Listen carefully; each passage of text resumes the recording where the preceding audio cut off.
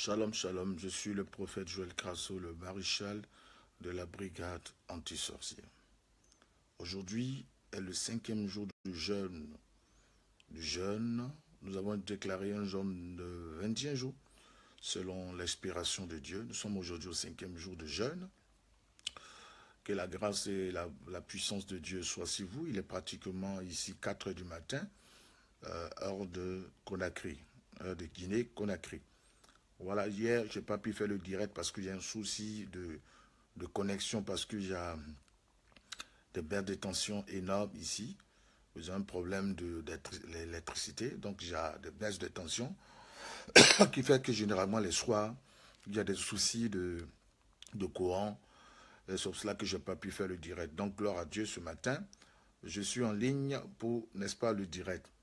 Voilà, je suis en ligne pour rapport le direct. Je pense que nous sommes aujourd'hui le vendredi 11, n'est-ce pas? Le vendredi 11 août 2017. Voilà, vendredi 11 euh, août 2017, je pense bien. Vendredi 11 août 2017. Voilà, que le Seigneur vous bénisse abondamment, que le Seigneur vous fortifie. J'espère bien que vous avez fait le jeûne. Alors, ceux qui sont déjà en ligne, recevez la grâce de Dieu. Ceux qui sont déjà en ligne, que la grâce et l'abondance du Seigneur demeurent sur vous. Si vous me suivez, maintenant je veux voir les j'aime, j'aime, parce que voilà, je suis sur mon compte Facebook. Je suis sur mon compte Facebook. Nous sommes au 5e jour de jeûne, vendredi 11 août 2017. Après, n'est-ce pas, cette vidéo, la vidéo sera mise en ligne sur mon euh, sur, sur le YouTube. Voilà, voilà, je vais avoir les amens et les j'aime. Voilà, merci. Cela prouve que vous êtes en ligne. Merci. Je veux que vous partagez. Chacun d'entre vous partage maintenant la vidéo. Voilà, faites encore un effort pour partager la vidéo. Partagez, partagez la vidéo, partagez-la rapidement. Commencez à partager la vidéo. Je vous demande encore de partager la vidéo. Invitez les gens à suivre cette vidéo. Invitez les gens à suivre la vidéo. Allez-y. Encore, amenez les gens à suivre la vidéo. Je vous demande d'envoyer les gens à suivre la vidéo. Voilà. Amenez les gens à suivre la vidéo. Voilà. Amenez les gens à suivre la vidéo. Voilà. Invitez les gens à suivre la vidéo. Invitez les gens à suivre la vidéo. Invitez les gens à suivre la vidéo. Voilà, invitez les gens à suivre la vidéo. Invitez les gens au maximum à suivre la vidéo. Voilà. Invitez les gens à suivre la vidéo.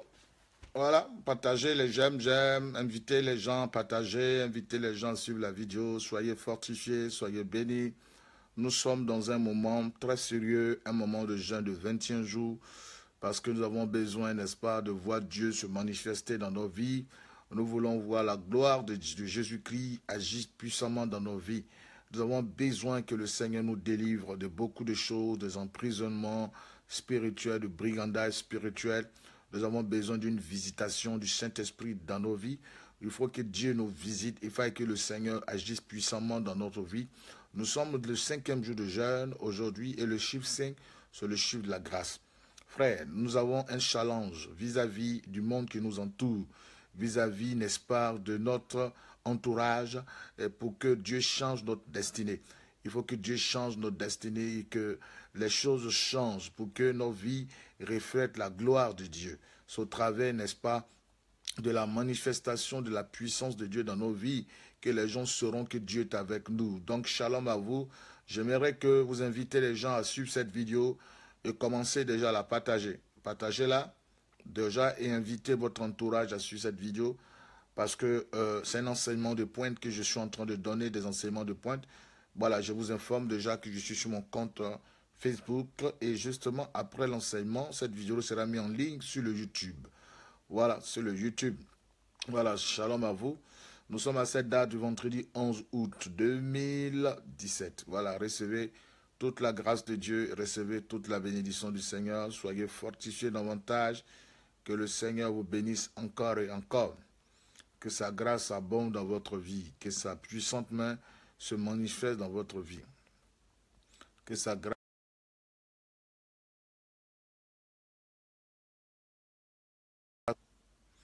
Voilà, gloire à Dieu.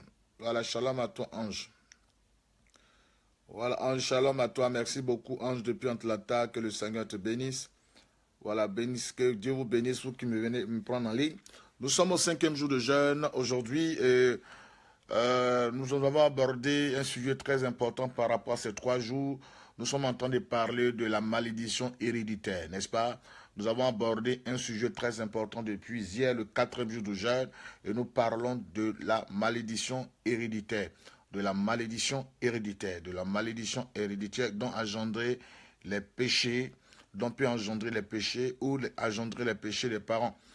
Dieu punit la malédiction, Dieu punit l'iniquité. La Bible déclare que dans Exode, Dieu punit l'iniquité des pères sur les fils de la troisième et la quatrième génération. Dieu punit l'iniquité des pères sur les fils de la troisième et la quatrième génération. Ok? Dieu punit l'iniquité des pères sur les fils de la troisième et la quatrième génération. Donc ça veut dire que, il dit, vous ne vous prosternerez pas, n'est-ce pas? Euh, Vous n'aurez pas d'autres dieux devant ma face, dans Exode. Euh, nous n'aurons pas d'autres dieux devant ma face, hein, n'est-ce pas? Et vous, n'aurez pas, vous ne vous prosternerez pas devant les images taillées. Voilà. Sinon, euh, la malédiction, n'est-ce pas? Dieu punit l'iniquité des pères sur les fils de la troisième et la quatrième génération, n'est-ce pas? De ceux qui maïssent. Vous comprenez? Donc c'est ce que nous sommes en train de traiter maintenant, n'est-ce pas? Selon Dieu, nous sommes en train de traiter et pouvoir briser toutes ces formes de malédiction et nous faire entrer dans une certaine prospérité. Parce que Dieu, c'est la prospérité, Dieu, c'est la gloire.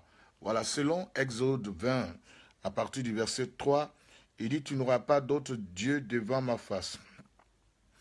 Exode 20, à partir du verset 3, il dit, tu n'auras pas d'autre Dieu devant ma face. Le verset 4, tu ne te, feras pas d'autre image taillée, ni de représentation quelconque des, choses qui sont en haut dans les cieux, qui sont en bas sur la terre, qui sont dans les eaux les plus bas de la terre. Le verset 5, tu ne te prosterneras point devant elles et tu ne les serviras point.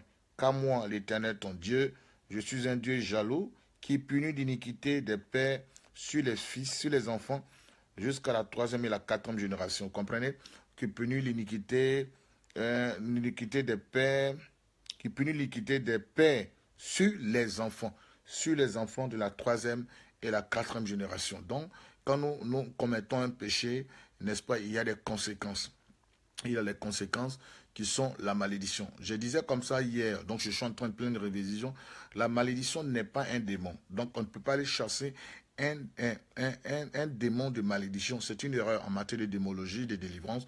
On ne chasse pas un démon de malédiction. La malédiction, c'est quoi? D'abord, malédiction, la définition. Il y a la diction, malédiction. La diction, c'est la parole mal dite, n'est-ce pas? Une parole mal dite qui a des effets négatifs, n'est-ce pas? Qui, n'est-ce pas, qui comme un mauvais sort. C'est vrai, on peut peut-être prononcer cette parole-là mal dit sur notre vie, comme nous pouvons poser un acte et qui en, qui en coule, découle euh, un mauvais sort. C'est-à-dire tu fais un péché et on dit ne pas faire quelque chose. Quand tu fais, voici le mal qui suit. Donc, écoutez, selon Exode 20, à partir du verset 3 jusqu'au verset 5, nous comprenons directement que euh, directement d'où peut provenir une malédiction, les actes qu'on peut poser et qui peuvent nous attirer une malédiction. Parce que la malédiction n'est pas un démon. Pour que la malédiction pour, on annule la malédiction, comprenez? Voici comment la malédiction se traite. Elle s'annule, n'est-ce pas? Elle s'annule, ou bien, euh, n'est-ce pas, on annule la malédiction. C'est-à-dire, on l'annule, euh, on annule la malédiction, on la révoque, il faut l'annuler. Mais d'abord, pour annuler une malédiction, il faut d'abord connaître, il faut d'abord l'identifier et connaître ses causes. Pour annuler une malédiction, il faut d'abord l'identifier et connaître ses causes. Parce que la malédiction sans cause n'a pas d'effet. La malédiction sans cause n'a pas d'effet. Je t'ai rien fait, tu me maudis, ça n'arrivera nulle part. Je t'ai rien fait, tu me maudis, ça n'arrivera nulle part. Je marche dans la rue, par exemple, tu me trouves, tu dis, ah, je te maudis, ça ne va pas arriver. Mais on dit la malédiction sans cause n'a pas d'effet. C'est quand tu poses un acte qu'il y a des effets après. C'est quand tu poses un acte et quand, euh, tu maudis, il y a des effets après. Vous comprenez? C'est comme un, un, enfant qui se bagarre avec son père, par exemple, ou bien qui insulte sa mère, son père, qui insulte dans la rue, ou bien dans la rue, qui la bagarre, qui frappe son père. Si son père se retourne pour maudire, il n'y a pas d'effet. Par exemple aussi, ayons un exemple, la Bible aussi dit, enfant, honore ton père et ta mère. N'est-ce pas? Si ton papa ou ta mère te demande d'aller adorer un fétiche, que tu refuses d'adorer ce fétiche et que tes parents te maudissent, ça ne va pas avoir d'effet parce que euh, Dieu dit, obéissez à vos parents selon le Seigneur. Obéissez à vos parents selon le Seigneur. Ce n'est pas tout ce que les parents disent que fortement que nous devons obéir. La Bible dit dans Éphésiens d'obéir aux parents selon le Seigneur. Donc si tu obéis aux parents, mais selon le Seigneur, si ton papa ou ta maman te dit, va adorer un fétiche, ou bien soit franc-maçon, ou bien soit euh, féticheur, ou bien soit, n'est-ce pas, euh, idolâtre, par exemple, ou bien va adorer telle chose, ou bien vient dans telle secte, et qui dit à ton papa, non, j'ai trouvé la vérité qui est Jésus-Christ, qui est le chemin, la vérité, la vie, je ne peux pas adorer, aller dans un secte, je ne peux pas, n'est-ce pas, te suivre dans cette voie, parce que je trouve que cette voie n'honore pas Dieu, et que tu désobéis à ton père ou à ta mère, là, si ton papa décide de te maudire, frère ou soeur, ça n'ira nulle part. Parce que la Bible dit d'obéir aux parents selon le Seigneur. C'est à Dieu seul qui appartient l'obéissance et nos parents, nous devons les, honorer. Nous devons les honorer, les respecter, mais à Dieu qui appartient l'obéissance. Voilà, donc il fallait que je sois clair dans l'explication que je suis en train de donner. Parce qu'on dit non, euh, obéissez à vos parents selon le Seigneur. Ouais, et on pense que on doit le suivre bêtement, euh, d'aller adorer combien, d'aller adorer les fétiches, d'aller adorer telle chose, on les suit bêtement. Non, la Bible dit d'adorer aux parents, n'est-ce pas, d'obéir aux parents selon le Seigneur, car cela est juste selon le Seigneur. Voilà, donc si tu vois que ce que ton père ou ta mère dit n'est pas une recommandation biblique et selon Dieu, tu peux désobéir à ton papa, tu peux désobéir à ta maman. Voilà, parce que l'obéissance appartient à Dieu. Nous devons honorer nos pères, les respecter, mais en ce qui concerne l'adoration des choses, il y a des choses qui ne sont pas bibliques, alors tu n'es pas obligé de partir. Si tu vas peut-être, euh, tu viens d'Afrique, ou bien tu es quelque part où ton papa te dit non, dans notre tradition, voici ce qu'on doit faire, on doit aller d'abord se prosterner devant l'eau, ou bien devant une statuette en famille, voilà, en famille, voici ce qu'on doit faire, on se prosterne, c'est comme ça la tradition. Mais cette tradition-là, frère, si elles ne concordent pas avec les paroles bibliques, si elles ne vont pas dans les données de Dieu et qu'elles te poussent à l'idolâtrie, ah ok, tu peux obéir, désobéir à ta famille, désobéir à tes parents parce que tout ce que les parents feront, n'est-ce pas, il faut que ça soit selon les données bibliques. Voilà, parce que chez nous, désormais, notre tradition, c'est la Bible. Nous, chez nous, notre village aujourd'hui, toi et moi, qui m'écoutent, notre village désormais, c'est la Bible. Les choses qui ne sont pas bibliques, frère, ce n'est pas la peine de les écouter, ce n'est pas la peine de les suivre, parce que nous devons suivre Dieu, nous devons suivre des choses selon la Bible, selon la Bible. Donc c'est clair. Donc il faut avoir un esprit d'analyse.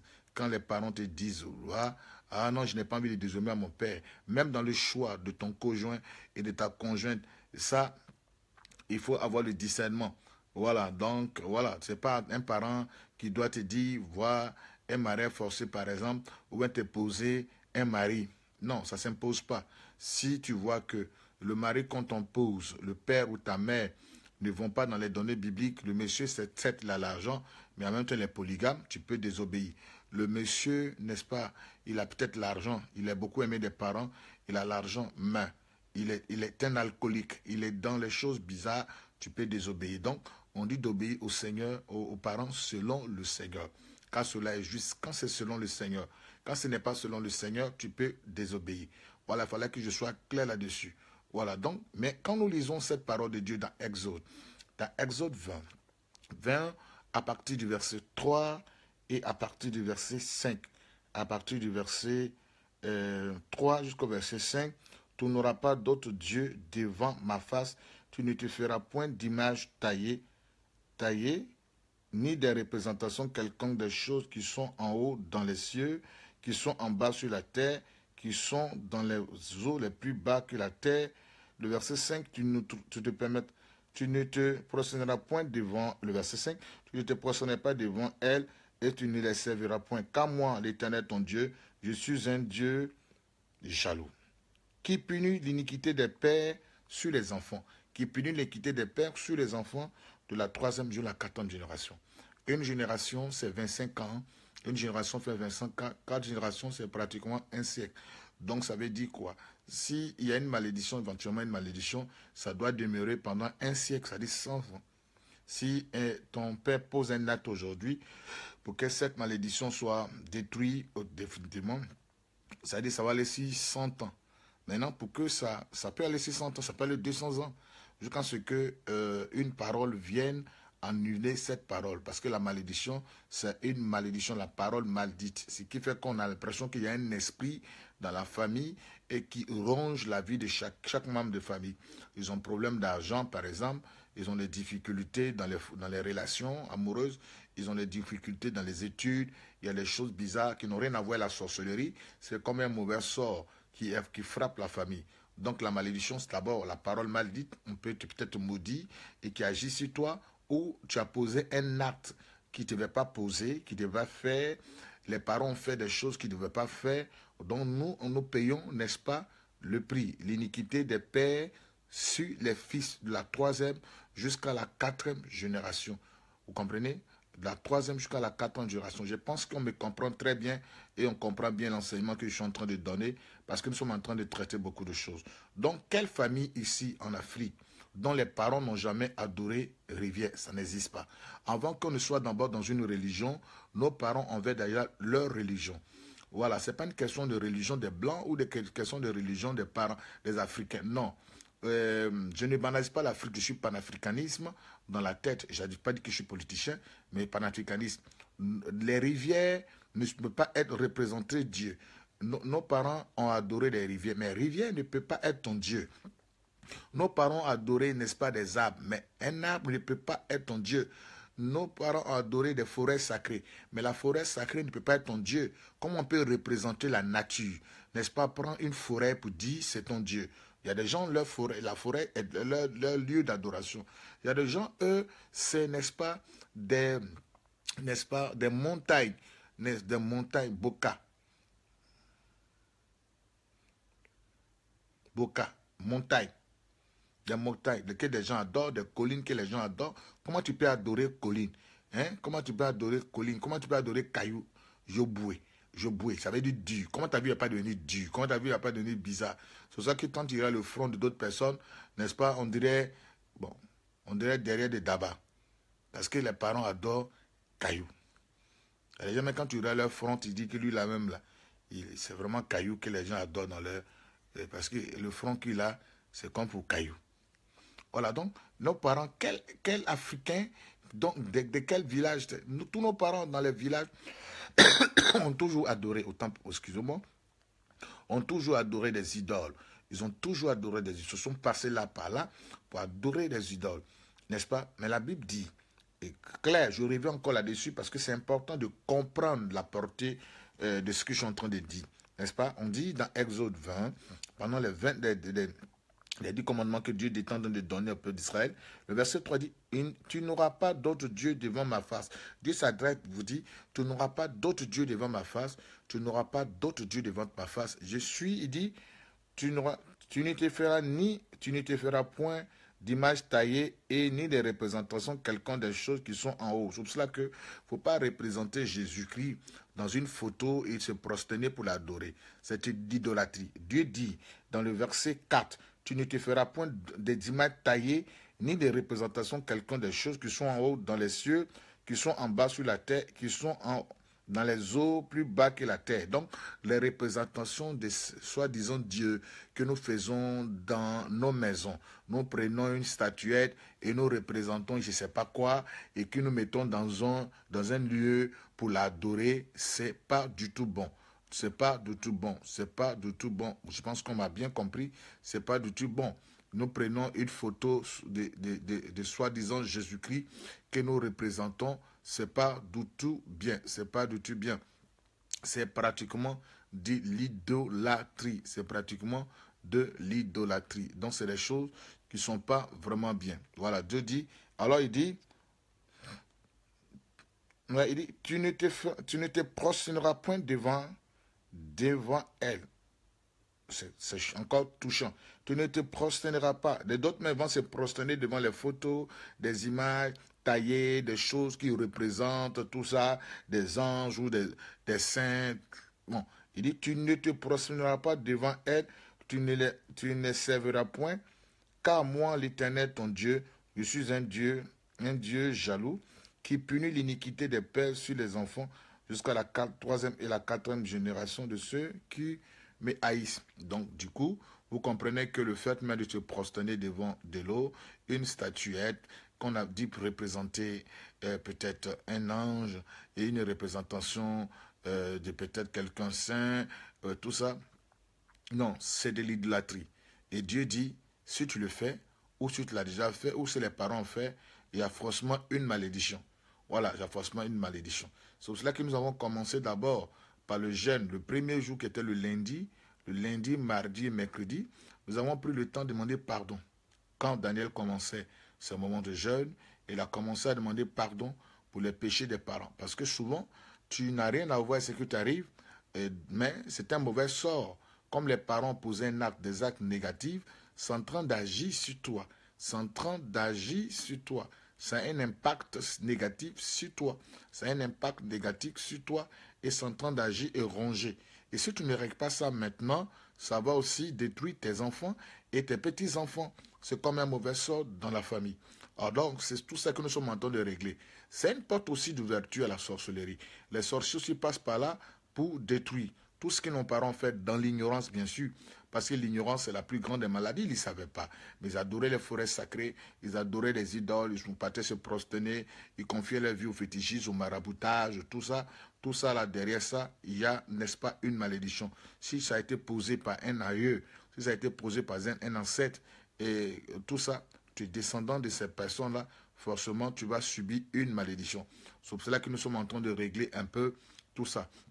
La malédiction, comme je disais, c'est la parole maldite. Malédiction, c'est pas rien à voir un démon, une parole maldite, ou bien c'est un mauvais sort, un mauvais sort, un mauvais sort qui est en train d'agir. Toi, tu n'as rien à voir avec ça, mais tu payes ça. Tes enfants peuvent avoir une, sale maladie, une maldéformation qui ne vient pas de toi, mais qui, n'est-ce pas, dont tu as hérité. C'est ça. C'est ça le, le danger. C'est que nous payons rien, tout se paye sur la terre ici.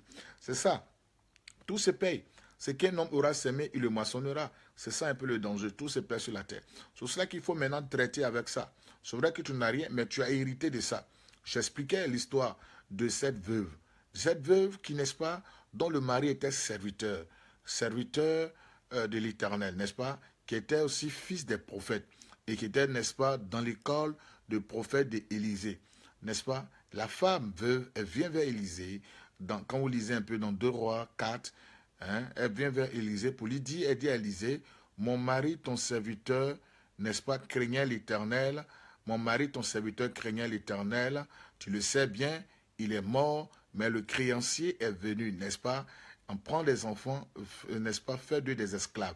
Vous comprenez, c'est ce qu'on appelle, n'est-ce pas, des, l'esclavage satanique, n'est-ce pas? Souvent, euh, nous n'avons rien à voir avec ce qui se passe dans notre vie, mais nous devenons, n'est-ce pas, des otages, n'est-ce pas? Nous sommes esclaves de ce que nos parents ont fait dans le, passé. Il dit, craignez l'éternel, tu es dans l'église, tu fréquentes une église, tu es un beau chrétien, tu es engagé dans la foi, mais il y a le mais. Le mais, c'est qu'aujourd'hui, le problème que tu as, il y a un problème de malédiction qui est sur ta vie. Le mais, c'est que tu as un problème de malédiction, n'est-ce pas? Tu, tu es en train de payer une dette satanique. Tu es en train de payer une dette satanique. Et cette dette-là, c'est que euh, le, le, monsieur, la dame dit, euh, le créancier est venu. Il y a des dettes. Certainement, peut-être que dans ta famille, il y a des sorciers. Il y a cette dette-là, de la sorcellerie, que tu, que, que tu es en train de payer la malédiction. Parce que les parents, n'est-ce pas, ont pratiqué peut-être la sorcellerie. Ils ont dû tuer des êtres humains dans la famille.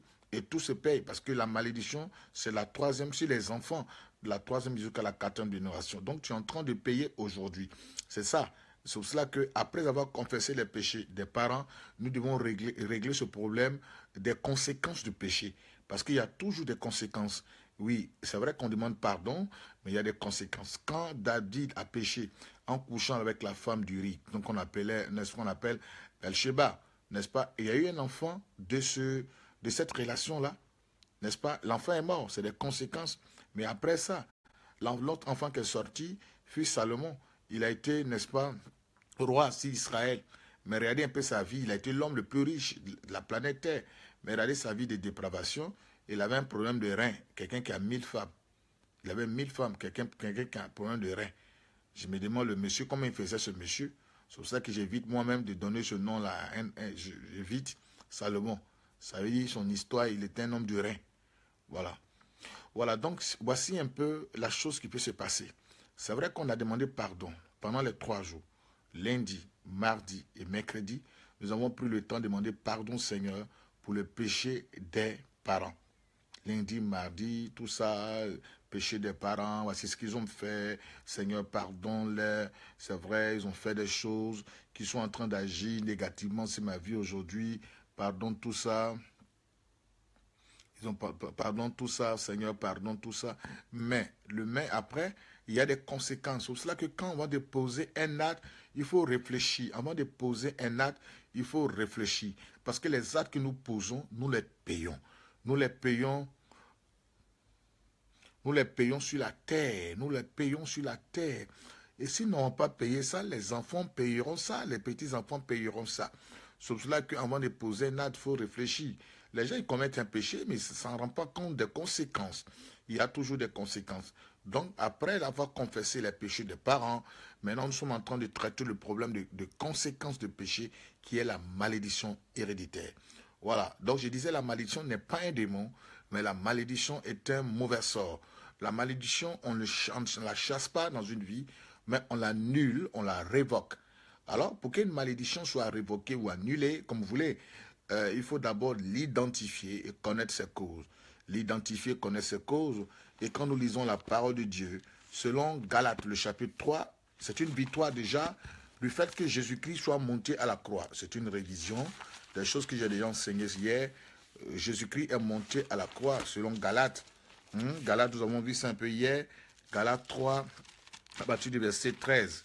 N'est-ce pas? Nous avons vu, n'est-ce pas ça, Galates, Galates 3, le verset 13. N'est-ce pas?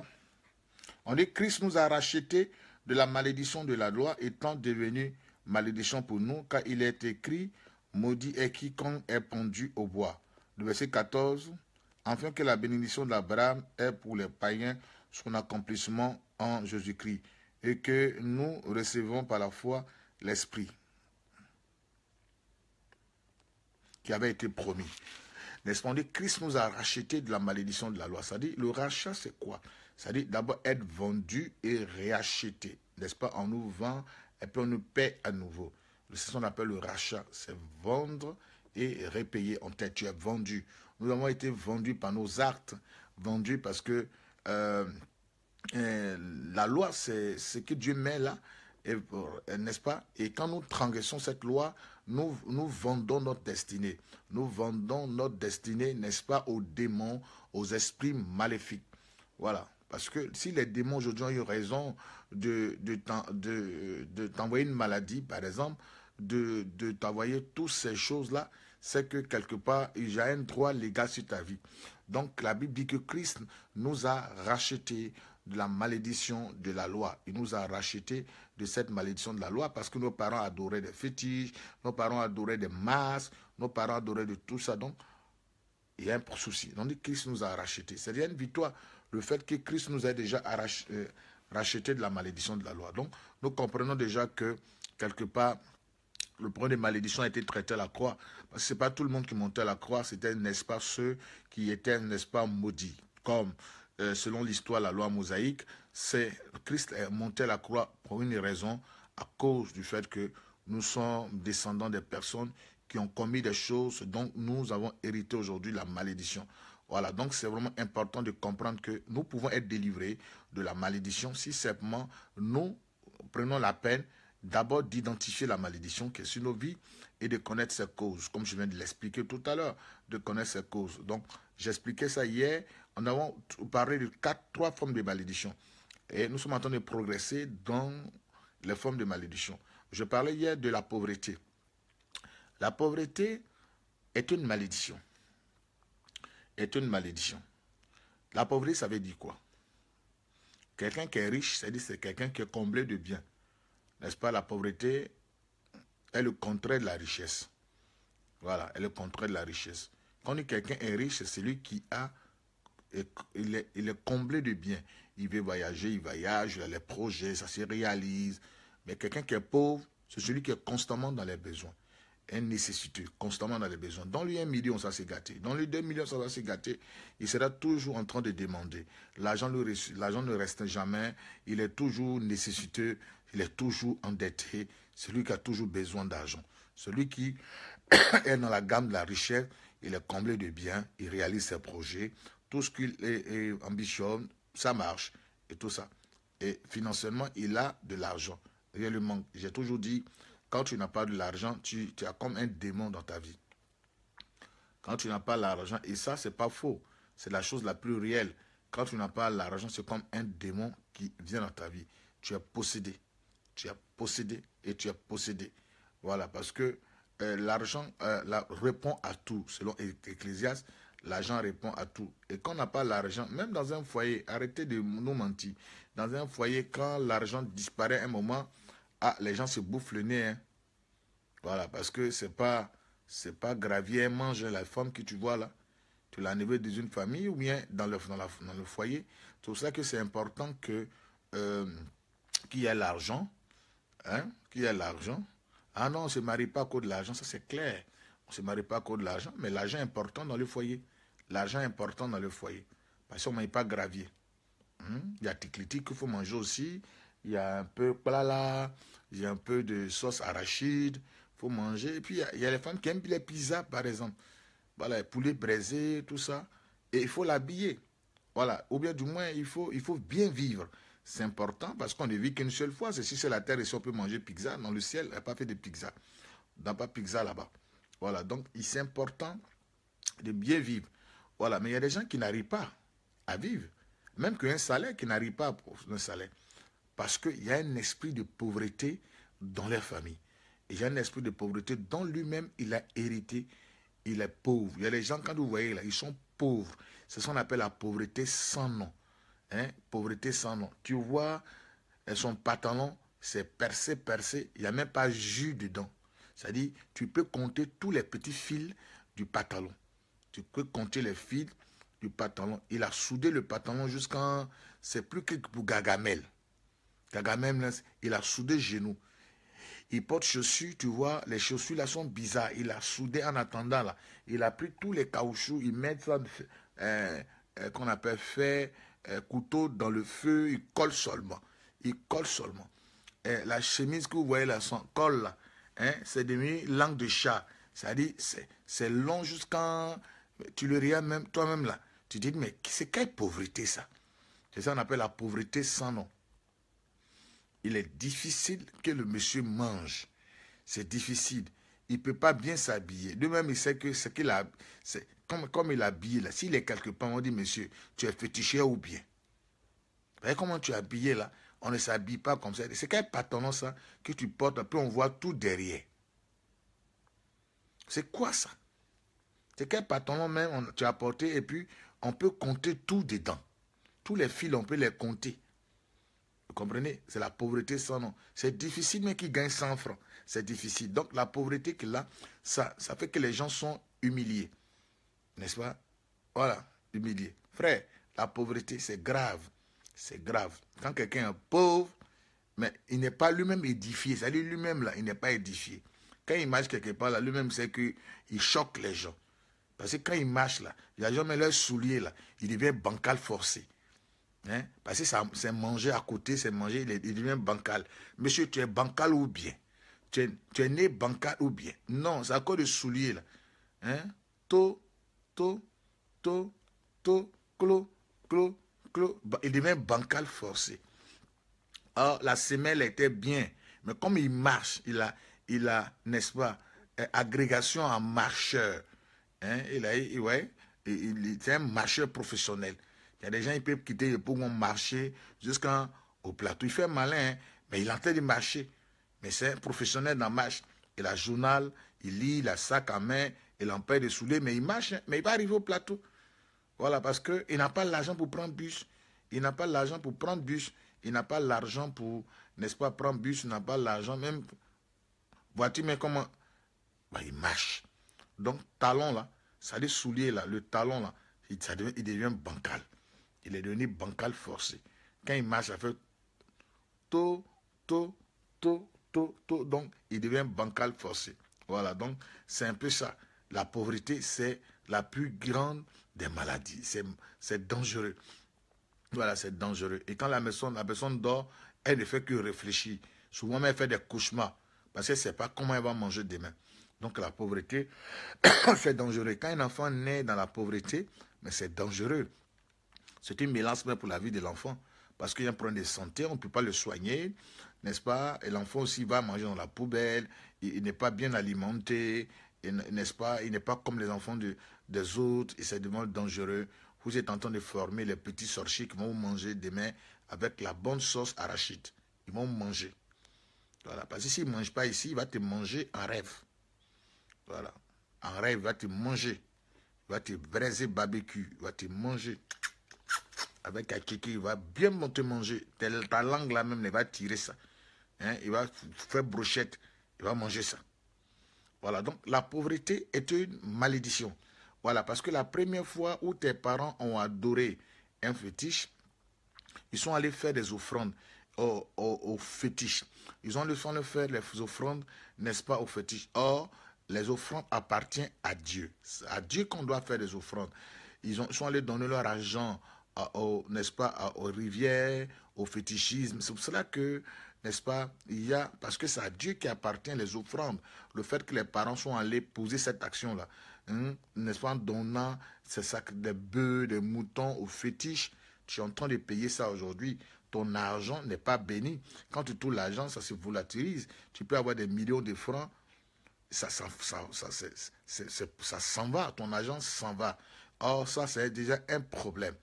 C'est déjà un problème. Celui qui n'a pas l'argent et celui qui, a l'argent, ils n'ont pas les mêmes pensées. Et ça, c'est la vérité. Celui qui a 500 000 francs CFA dans une chambre et celui qui n'a même pas 5 francs dans la chambre, ils n'ont pas les mêmes manières de marcher dans la rue. L'autre, il parle seul. Or, l'autre, il loue le Seigneur.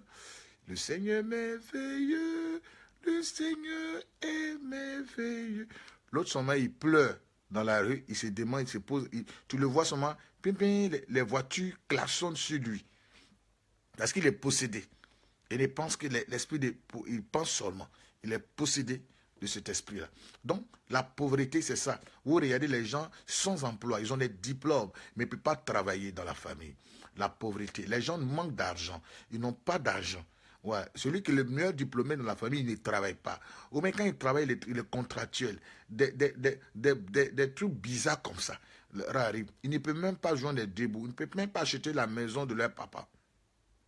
Hein? Ils sont bizarres, ils ont des, ils ont des, business bizarres, la pauvreté. Ils ne peuvent pas entreprendre. Quand on parle de 1 million, mais c'est un mystère. J'envoie ça où? Je vois millions où? Millions où? Ici, là même en Guinée, on, est actuellement en Guinée, là. Moi, je suis étonné leur argent, là. Je suis étonné de leur argent.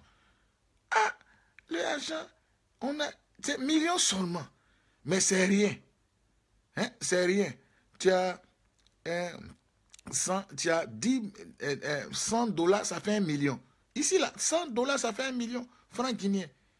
Donc, quand tu as, tu as, tu as, tu as 1000 dollars, ça te fait 10, 10 millions de, ah, ça fait 10 millions de francs guinéens. Nous-mêmes, là, on, on a changé l'argent même, c'est plein dans nos poches. Je quand te dis, mais on allait dans un restaurant, on est, on trois. Hein? On, a, on, a, on a allé couper, on a mangé. Et quand on mange, on, nous envoie la facture, ça fait 500 000. J'ai dit, mais attends, où, jouez elle les chiffres J'ai commencé à avoir peur. J'ai dit, mais comment on peut, on peut manger 500 000 On dit, non, c'est 500 000 francs guinéens. C'est monsieur ressaisi. Et puis quand on calcule, c'est rien que peut-être si c'est 25 000 francs, peut-être, ou bien c'est 60 000 francs, francs CFA.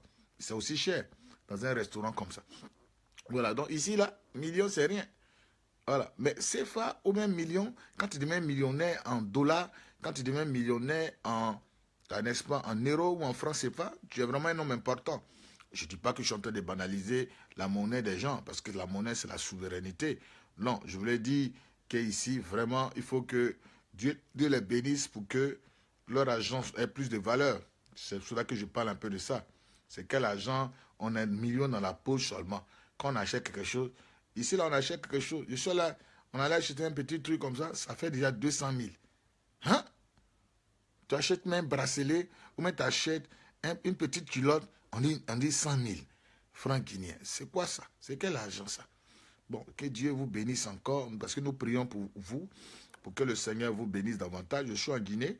Aujourd'hui, par la grâce de Dieu, je vais aller avec la femme, la maman de, du fils du président. Il a un, unique fils, c'est sa maman, hein, Aliga. Hein. Aujourd'hui, elle a une grand, un grand euh, zone orphelinat à Koya. Aujourd'hui, je suis l'invité. Euh, c'est pour cela que je suis là pour travailler pour l'orphelinat. Je suis venu là pour travailler pour l'orphelinat. Aujourd'hui, vous aurez les images.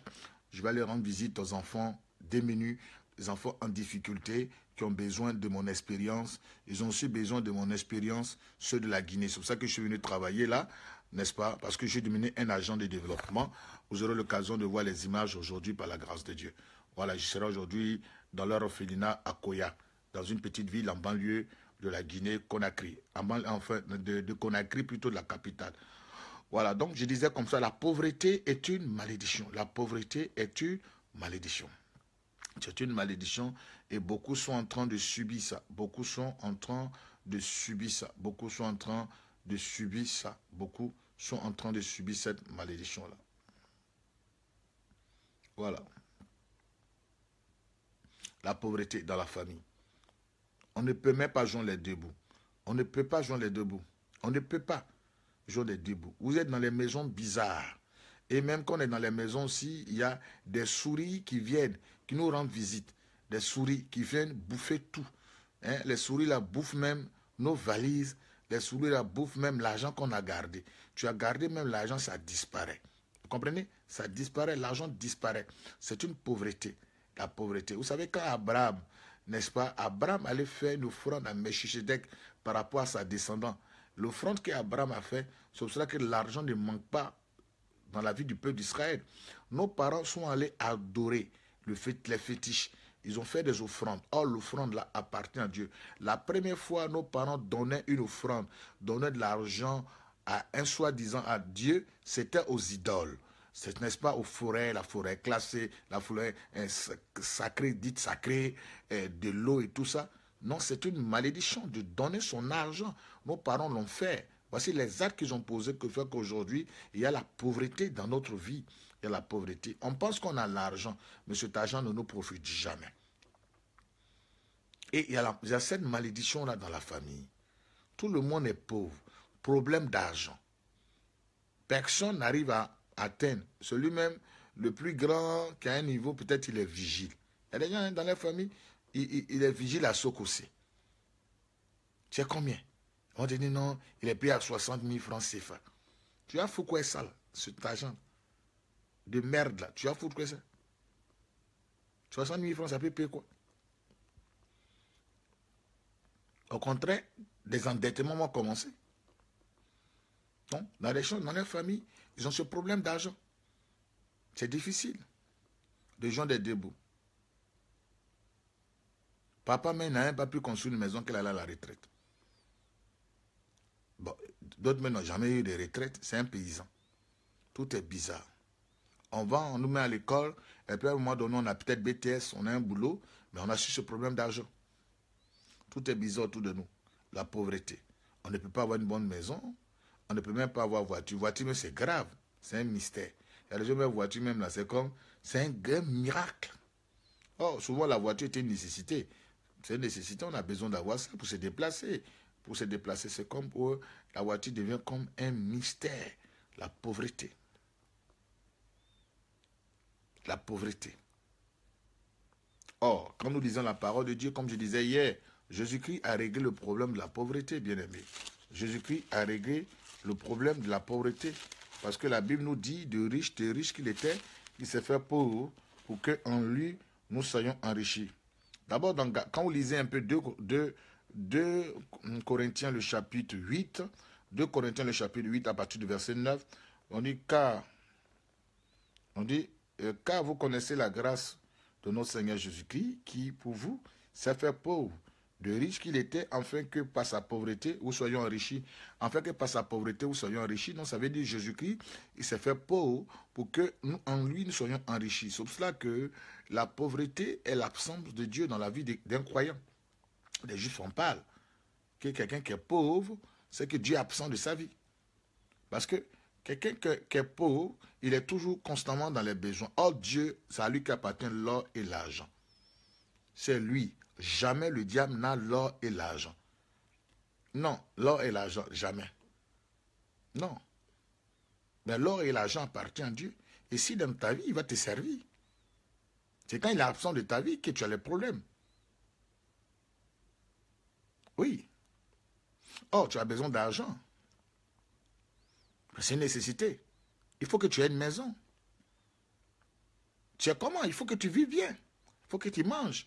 Il faut que tes enfants soient bien, soient bien, en bonne santé. C'est l'argent. Aujourd'hui, on ne peut rien sans l'argent. L'argent répond à tout aujourd'hui. Il faut l'argent. C'est pour ça que je demande d'entreprendre.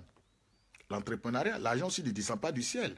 Pour venir dans ta poche, il faut entreprendre. C'est pour ça qu'aujourd'hui, je suis, je suis aujourd'hui le responsable d'une boîte qu'on appelle Barouk Communication. On va inaugurer ça la semaine prochaine. Nous inaugurons Barouk Production la semaine prochaine, par la grâce de Dieu, le jeudi prochain, l'ouverture de cette grande boîte événementielle qui est Barou Production. Nous occupons des clips vidéo, nous occupons en même temps une chaîne de télé, la production audiovisuelle. Nous nous occupons aussi, nous faisons aussi, nous occupons des mariages. Pour ceux qui veulent éventuellement se marier en Côte d'Ivoire, j'amène désormais une boîte. Vous pouvez contacter la boîte. Bientôt, on aura l'occasion de vous donner toutes les références, tous les contacts. C'est à la Riviera Palmeret, juste derrière la scène PS de la Riviera. Voilà, vous comprenez? Nous faisons aussi, nous avons aussi un studio d'enregistrement pour la production pour des artistes chrétiens et des artistes. Un studio de répétition, un salle de répétition. Nous, prenons en compte les mariages, les cérémonies de mariage, nous organisons la sonorisation, nous faisons le coaching en matière de communication. Voilà, donc c'est toute cette boîte-là qu'on appelle Barouk Communication. Un enfant de Dieu doit entreprendre parce que Dieu dit Je bénirai le travail de tes mains. Voilà, donc je suis l'un des je suis le responsable de cette boîte de communication. Voilà, donc il faut entreprendre. Il faut entreprendre. C'est Dieu bénit le travail de nos mains. Toi, tu fais quoi? Tu as fait quoi? Un enfant de Dieu doit être béni. Toi, tu restes dans prière jeune seulement. Non. Et tu fais quoi? Parce que Dieu dit, je bénirai le travail de ta main. La pauvreté, c'est la somme de Dieu dans la vie des gens. Aujourd'hui même, là, tes plus grands visiteurs sont les souris. Je dis, mais c'est comme les rats, ils sont chez toi à la maison. Ils mangent à toi, ils te disent bonjour. Or, souris n'a jamais fait quelque chose de bon. Ils ont tout gâté les souris. Souvent, même quand tu marches même dans veste, là, il y a souris dedans. Monsieur, monsieur le ministre, tu as ministre, tu as veste de je ne sais pas quoi, super timor, café est logé dedans. Quand tu vas saluer le monsieur, il y a une souris qui sort. Chez nous, on dit, voici, drap toi. Souris. Souris. Mais le ministre va fuir, il va plus te donner il ne va plus te donner le travail. Le gars va, il va bourrir, il va bourrir. Monsieur le ministre, qu'est-ce qui se passe? Le ministre bourrit. Il dit, monsieur, voici le sorcier. Hein? Comment tu peux dire, monsieur le ministre ou même monsieur le directeur, tu as les dossiers en main pour venir travailler, monsieur le directeur, merci d'avoir pris ma, ma, demande de truc. Le monsieur, le monsieur dit, oui, j'ai regardé ton CV, c'était beau ton CV, vraiment, c'est celui-là qui est vraiment qualifié à rester dans la société, tu es vraiment bien. Tu entends de saluer, monsieur le directeur, voici souris qui sort là, dans veste là. Il y a un souris. Vous connaissez les souris, sont mal polis. Les plus grands impolis sur la terre sont les souris. Vous voyez, souris là. Toi-même, tu luttes ça. Ça prend le PDG. Ça tombe sur lui. Il bourrit. Il ne va plus te prendre. Il ne va plus te prendre pourri en même temps. Monsieur le PDG, non, il arrive. Les chaises, tout ça. Le PDG, même table, même la tombe sur lui. C'est pour ça qu'il faut regarder, pardon, il faut regarder tes costumes là, tes costumes bizarres, bizarres que tu as accrochés quelque part. Tu vois si les souris n'ont pas, pas fait enfant dedans. Ah, il ne faut pas ça te mettre un jour. Ah, faut regarder. Ah, vous mettez vos costumes là partout, hop, souris, mais les ton camarade. Comme tu l'as pas, tu n'as pas l'argent pour amener un pressing, sueur bizarre, de gagamel qui est tombé ici, de costume là. Les souris aiment bien ça, les trucs qui sont un peu bizarres. Ils sont venus faire enfant dedans. Toi, tu penses que c'est costume. Costume là où il y a mille couleurs dedans. Et le costume, quand tu vois, le monsieur là, il est possédé ou bien? Il faut regarder bien tes costumes, hein. pardon. Il faut regarder dedans. Il y a les poches bizarres dans les costumes, il y a les poches ici, il y a les poches ici. Il faut regarder dedans là faut pas regarder seulement à l'extérieur. Regarde dans la poche de costume, là, regarde bien. Ah, les souris, c'est des, ils sont mal polis. Ils vont aller de là-bas, tu vas voir ton CV dans le boulot, ils vont dire, ah, le monsieur, merci, euh, directeur, oh, voici souris. Voici souris.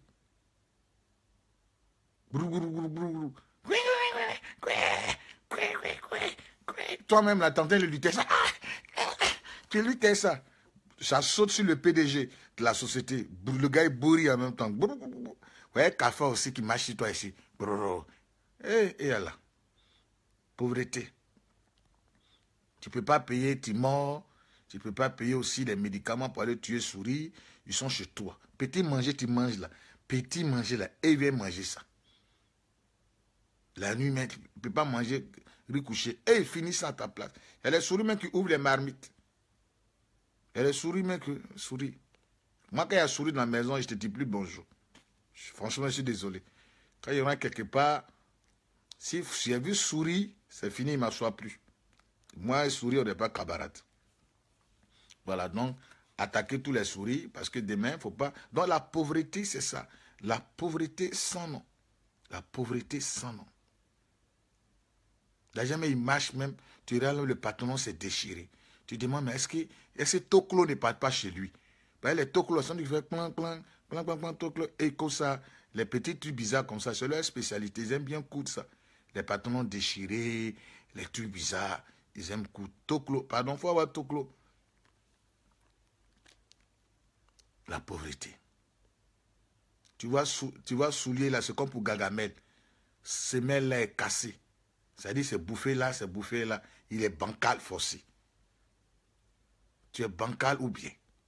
Il marche, il est bancal. Mais ton genou va, se, va avoir problème de genou un matin. Il faut changer chaussure là. Tu as quel problème? Change la chaussure. Il ne peut pas changer. Parce qu'il n'a pas l'argent. D'abord pour manger et puis après faire raison pour changer chaussure. Il ne peut pas. Il ne peut pas s'acheter un costume. Il ne peut pas même acheter pain pour sa femme. Mais il est premier à aller draguer. Il veut se marier. La femme, là, elle va manger, elle va manger baisin ou bien.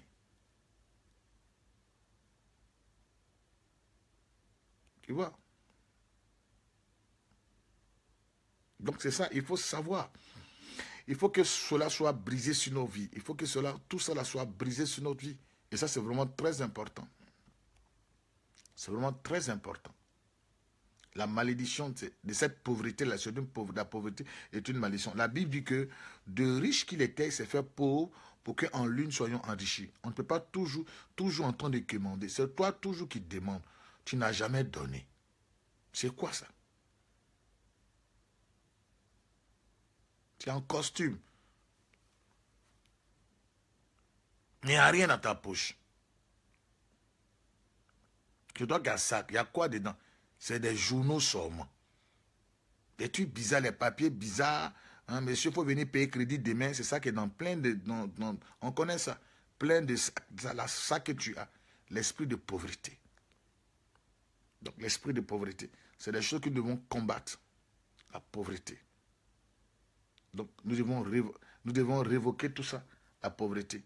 On voit dans la famille, pas d'argent. C'est la pauvreté. C'est nous qui vous dit que la pauvreté est une bénédiction. C'est un grand menteur, c'est un enfant de Satan. La pauvreté est une malédiction.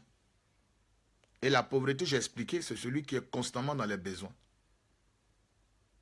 Oh, l'or et l'argent appartiennent à Dieu. Frère, on dit l'or et l'argent appartiennent au Dieu que tu adores. Et toi, tu as ce problème-là. C'est pour ça que les Juifs disent, la pauvreté, c'est la somme de Dieu dans la vie de quelqu'un. Il peut pas être dans ta vie, puis être privé de tout ça. C'est ton droit d'être riche. C'est ton droit d'être riche. Parce que la richesse, ça veut dire celui qui est comblé de biens. Ce n'est pas un péché. Si on n'avait pas de l'argent, on n'allait pas construire l'orphelinat. Si on n'a pas de l'argent, c'est l'argent qui m'a fait venir ici, dans le bien.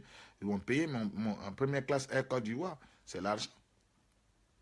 Je dors dans l'hôtel le plus nippé de, de tout euh, Conakry, le toit des 5 étoiles. Palme Kamaen. C'est le meilleur hôtel de, Conakry. C'est l'argent.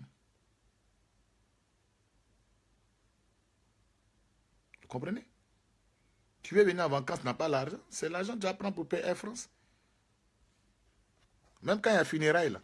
C'est l'argent. On prend pas l'enterrer encore. C'est l'argent. Tu n'as pas l'argent, tu ne peux pas enterrer, tu ne peux peux pas mettre carburant dans ta voiture, tu ne peux pas. Tu ne peux pas payer le corps privé. Aujourd'hui, là, en public, c'est un problème. Donc, les enfants, les enfants, on, les met maintenant au privé. Pour qu'ils aient une bonne éducation, tu n'as même pas l'argent pour mettre tes enfants au privé.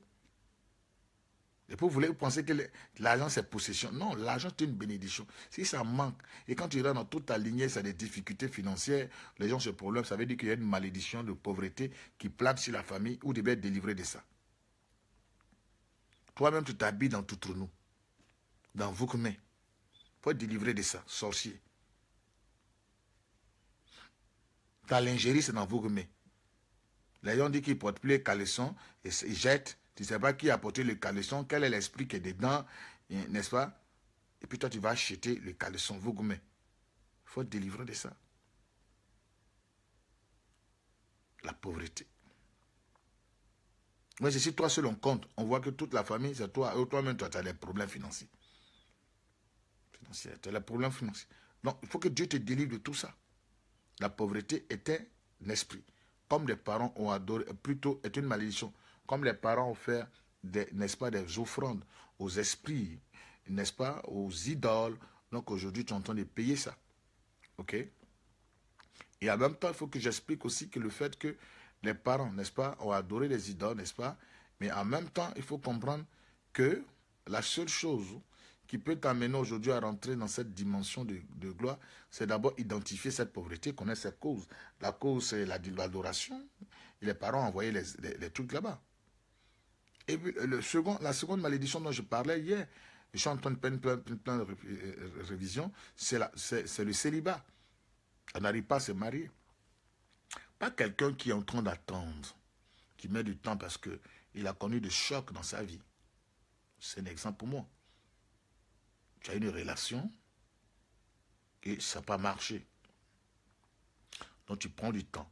C'est pour ça qu'il dit la, euh, euh, n'est-ce pas, euh, la déception amoureuse, c'est la plus grande des maladies. Parce qu'elle laisse des traces. Et, pour guérir, c'est difficile de guérir de ça. Gloire à Dieu que Jésus-Christ, n'est-ce pas, c'est pas sa maître aussi que nous sommes guéris. Voilà. C'est pas quelqu'un qui entend d'attendre, qui met du temps, qui regarde. C'est pas mauvais d'essayer. J'ai toujours dit, pour aller se marier, il faut d'abord draguer, il faut, faut parler. J'ai jamais vu quelqu'un qui a prié dans une maison, et puis la femme s'est levée un matin pour dire, euh, comme Joël a, prié, je me lève, je m'abaisse devant sa maison. Oh le Saint-Esprit, où est sa maison Et puis, oui, où est ta maison? Monsieur Joël, sors. Le Seigneur m'a dit, tu es mon mari. C'est une chaud en met sur le feu pour venir brûler le visage. Tu vas aller draguer. Ça veut dire tu l'abordes et tu lui dis je t'aime. Tu as les yeux, tu as le cerveau. Il faut apprendre à aborder. Voilà, il faut apprendre à aborder. C'est pas un foutement ou dire ah non. oh le Seigneur, j'ai prié la nuit. Seigneur, la fille Suzanne, touche-la, touche le feu. Je lis son cœur. Tu es féticheur ou bien? J'attache son cœur dans la prière. Puis la soeur vient. Matin, vers 5 heures du matin. Ou un match comme ça? On appelle ça sorcellerie. Non. Si tu as eu la révélation, tu es convaincu, du moins, que c'est elle, alors tu viens vers elle, la draguer. Maintenant, si tu vois que ah, vous priez ensemble, que ça ne va pas, séparez-vous. Ce n'est pas forcé. Et ça, moi, je dis la vérité. Les gens vous mentent, vous êtes, vous êtes dans une relation, et puis demain, après ça, vous faites 15 ans, 20 ans, vous vous séparez. Quand vous êtes ensemble, vous voyez que ça ne va pas, n'allez pas loin. Mais ce n'est pas mauvais d'essayer. Nous sommes des êtres humains. On se marie parce qu'on a rencontré l'amour. Une femme qui va te respecter, un homme qui va te respecter. Voilà, un homme qui va te respecter, une femme qui va te respecter. Voilà. C'est pour ça que moi, je mets du temps, mais je crois que c'est ma dernière année d'être célibataire. Voilà. C'est pas parce qu'il n'y a pas de femme. Hein. Mais il faut une femme qui m'accompagne dans mon ministère. Voilà. Une, une Rebecca. Voilà. Quand Isaac a trouvé Rebecca, il a arrêté de pleurer. Une femme qui va arrêter mes larmes, mes souffrances, qui va m'aider à rentrer dans mon ministère, qui va m'aider, qui va me comprendre, malgré mes défauts, malgré mes gnéni Elle va me comprendre, elle va me supporter. Pas une femme rancunière, mauvaise de cœur comme sorcier. Sorcière. L'apparence trompe souvent. Les gens ne sont pas ce qu'ils sont souvent. C'est quand vous les approchez, vous les découvrez. Voilà. Donc, frère, moi j'ai besoin d'une femme qui va m'aider. On dit, ah, Macron, il un niaï, niaï, oh, niaï. Il un niaï, mais niaï, là. C'est niaï qui a la présidence. Le jour il prêtait serment, il dit, je dois ma présidence à Brigitte. Et quand tu regardes Brigitte, tu regardes, tu dis, mais voici un enfant, il fait quoi, la vieille, là? Ah, petit, tu fais quoi ça là? Il y a plein de femmes, il y a les petites, les petites là, dans, dans tout Paris. Tu fais quoi la niaï On ne se marie pas pour petit et puis elle va venir bouffer ton euro là, elle va bouffer ça. Voilà, il a dit, voici, il, a, il était petit, il a regardé la femme, un petit qui regarde une femme, une vieille. Il dit, non, la vieille là, elle peut m'aider, m'encadrer. Et il allait vers la vieille, la vieille aussi dit, ah petit, Qu'est-ce qui se passe? Toi, petit, quoi, tu es comme ça, tu viens? Il dit, ah, moi-même, là, je sais que toi-même, là, c'est toi qu'il me faut dans ma vie. Parce que je suis ambitieux. Donc, ils ont essayé. Malgré les petites filles de Paris, malgré les petites filles de l'Europe, c'est un million de garçons, le président français, chapeau à toi. Mais, il a regardé la vieille là, il dit, mais il faut, il faut cette vieille là. Et puis la vieille a transformé sa vie, il est devenu président de la République. Toi, tu as venu dans ma vie parce que je suis prophète Crasso, moi, à cause de mon nom. C'est ce que tu cherches Parce que tu as porté mon nom. Voilà. C'est quand Rebecca est rentrée dans la maison d'Isaac. J'ai besoin que beaucoup de choses se règlent. Parce que sans la femme, on n'est rien. J'ai la, vérité, sans la femme, l'homme n'est rien. L'homme n'est rien sans la femme. L'homme n'est rien sans la femme. Nous-mêmes, on est là on réfléchit. Si ma femme était là, j'avais une femme, elle serait venue avec moi ici à Conakry. Si j'étais marié, elle serait venue avec moi à Conakry. Je voyage depuis la seule. C'est cela que par la grâce de Dieu, cette année-là, c'est la fin. Cette année-là, c'est la fin. J'ai dit au Seigneur, c'est la fin. Cette année, 2018, c'est mon année de mariage. Voilà. Et ça, il faut, faire la conclusion pour dire on a trop duré dans ça. Hmm, dans ça. L'année prochaine, il faut que je me marie. Voilà, devant Dieu, devant les hommes. Voilà ma femme, et c'est fini. Voilà, donc je suis en train de prier pour que le Seigneur règle beaucoup de choses. Voilà, qu'une femme qui va me supporter, qui va m'aimer, quel que soit ce que je suis, qui va m'aimer, m'aider dans mon ministère. Voilà, donc le célibat, c'est c'est une malédiction. Le mariage est instauré dans le jardin. L'homme quittera son père et sa mère, s'attachera à sa femme, devenant de seul chien. Une femme qui va booster ma vie, une femme qui va m'aider à aller de l'enfant, une femme qui va m'aider, qui va me supporter selon mon caractère, qui va prier. Il faut que vous trouviez un homme. Tu trouves un homme qui va t'aimer, selon ton caractère, qui va t'aimer, qui ne va, pas, regarder. Non, j'ai besoin d'une femme qui ne va pas écouter les gens. Qui ne va pas écouter les gens qui va, qui va te dire, voici un homme qu'il me faut dans ma vie. Il faut parce qu'il y a des femmes, quand tu rencontres, tu avances. Tu avances. C'est parce qu'il n'y a pas de femmes. Hein. Je les vois, il y a beaucoup de femmes. Mais parmi les milliers là, il y a une qui m'appartient. Et quand elle va venir dans ma vie, elle sera bien. Donc, il y a l'esprit qui regarde. Il faut regarder. Voilà, donc, il faut avoir le discernement. Il ne faut pas marier. On ne se marie pas parce que non, hein, je prends de l'âge. Tu vas manger, tu vas voir qui a mis sucre dans l'aubergine. Il faut aller marier parce que tu prends l'âge. Hein?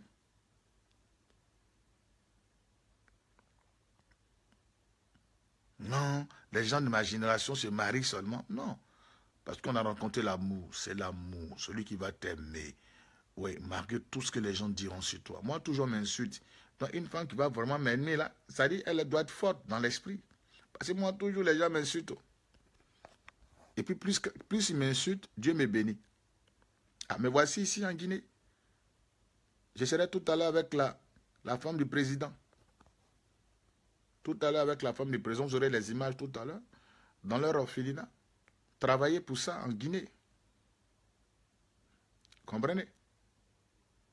Encore, le, gouvernement Guinée-Bissau Bissau, m'invite encore pour aller faire un travail aussi dans leur, dans leur pays. Voici ça. Par plus vous m'insultez, les gens, ils savent. Ils savent qui est dans la vérité, qui n'est pas. Vous allez voir tout à l'heure, je serai avec les enfants démunis qu'ils ont ramassés dans la rue, qui n'avaient pas de trucs. Je leur partager mon expérience tout à l'heure. Tout à l'heure. À 6 heures même d'ailleurs, on va me chercher heure de, de, à cause des bouchons. Mais c'est la grâce de Dieu. Vous comprenez, c'est la grâce de Dieu. Donc il faut une femme qui est mûre. Une femme qui est mûre. Voilà, mûre pour me supporter, pour être devant moi. Pas une femme qui va prendre des coups.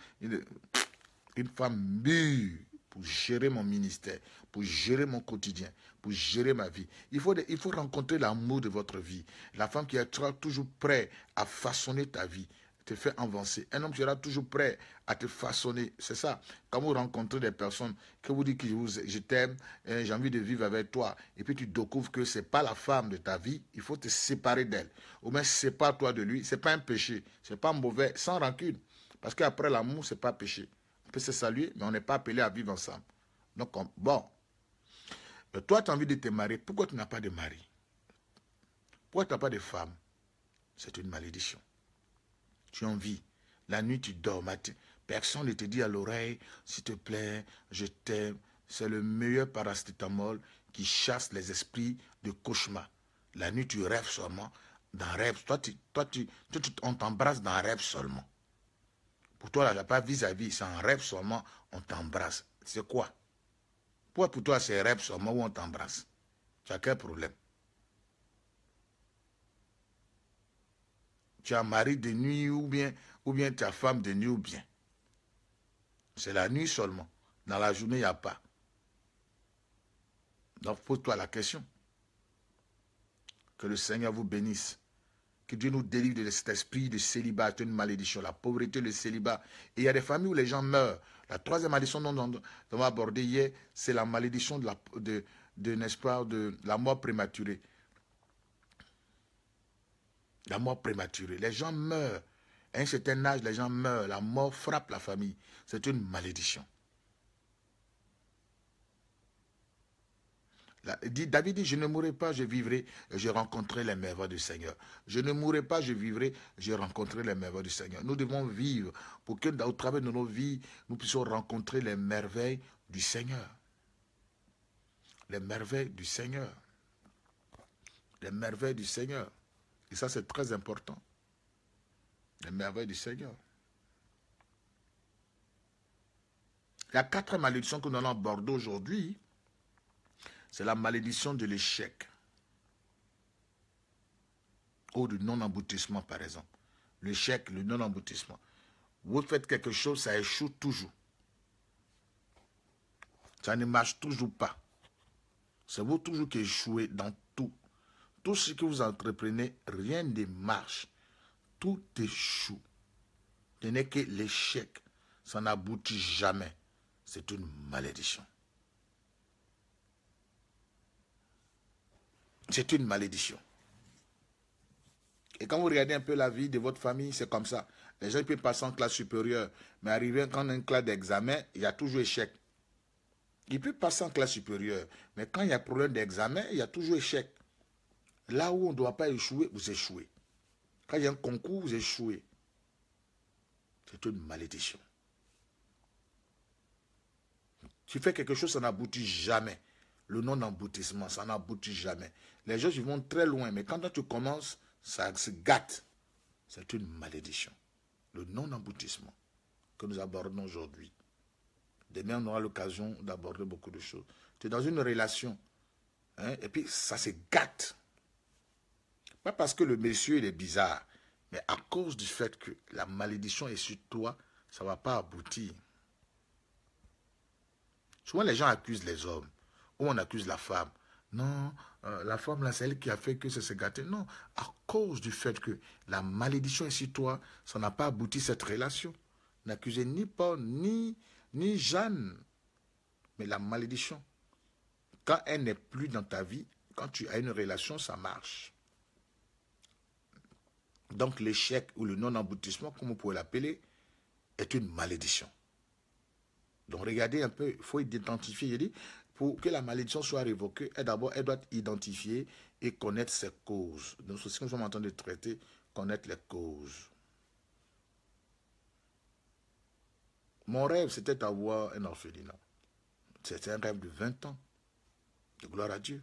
Le 15 février de, de cette année, Dieu m'a permis de réaliser ce rêve.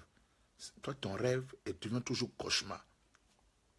Ton rêve devient toujours cauchemar. Mon rêve, c'était de, mettre une société, une entreprise de communication événementielle pour permettre à nos frères chrétiens, pour permettre aux hommes qui veulent, bien sûr, n'est-ce pas, qu'on organise à l'image des choses de Dieu, ce rêve-là, attendez, s'accomplit ce, ce, jeudi prochain, la semaine prochaine, vous aurez en direct, hein, n'est-ce pas, de Barreau Communication. Nous allons montrer un peu ce que le Seigneur, n'est-ce pas, nous a donné la possibilité de réaliser. Toi, toujours, quand tu commences, tout, tout s'échoue. Tout échoue. Pourquoi? Pourquoi?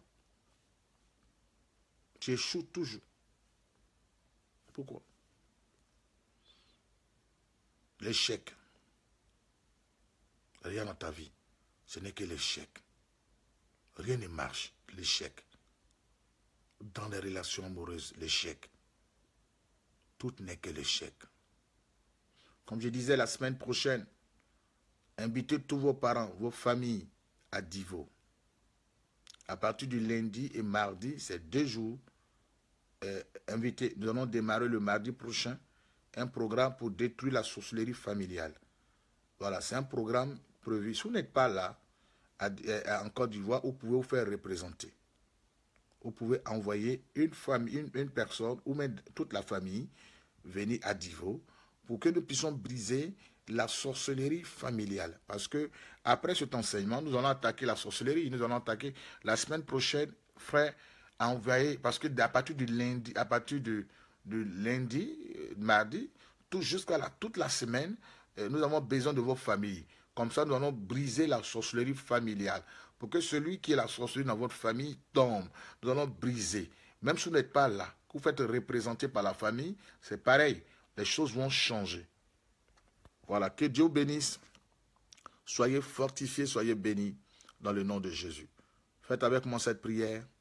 Seigneur Jésus, je me confie à toi ce matin. Après avoir écouté cet enseignement, fais avec moi la prière, je réalise que ma vie est frappée par une malédiction. Il y a la malédiction de la pauvreté, il y a la malédiction du célibat. Je n'arrive pas à me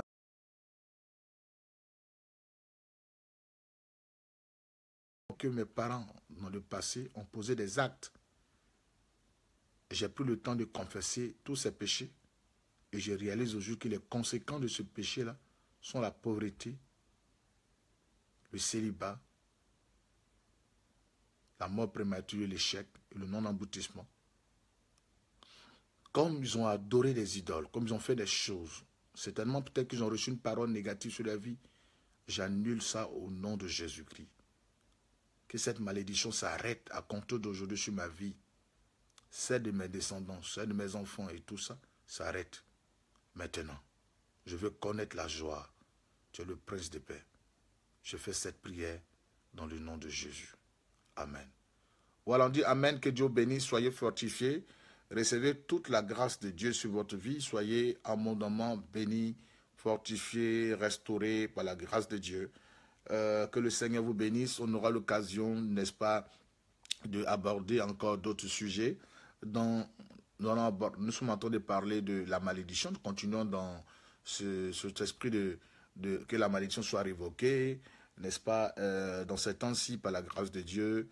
Euh, je pense que tous les matins, c'est encore plus intéressant parce que si j'ai un problème de connexion les soirs, tout à l'heure, je pars, n'est-ce pas, à Koya, une ville juste à côté, en banlieue de Conakry, pour, n'est-ce pas, partager mon expérience avec euh, un orphelinat, avec la femme du président de la Guinée, euh, la femme de Condé. Voilà, donc tout à l'heure, vous allez voir, nous allons voir les images parce qu'il y a problème de connexion que nous allons filmer, euh, la cérémonie, la rencontre avec des gens, des enfants dans ce coin-là, et des photos. Nous aurons l'occasion de vous les partager après par la grâce de Dieu. Ce n'aura pas de direct parce qu'il y a un problème de connexion. Je n'ai pas pris plus point de plus ici.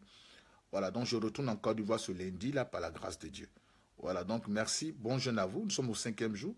Que le Seigneur vous bénisse, vous fortifie. Le jeûne se coupe à 18h ou 18h30 pour ceux qui veulent bien. Voilà, jeûne se coupe à 18h. Voilà, soyez bénis. Pour ceux de la France, je pense que ça à 20h. Voilà, ça à 20h.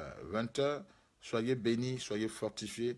Recevez la grâce de Dieu. Bonne journée à vous et à très bientôt. À très bientôt. Soyez fortifiés au nom de Jésus.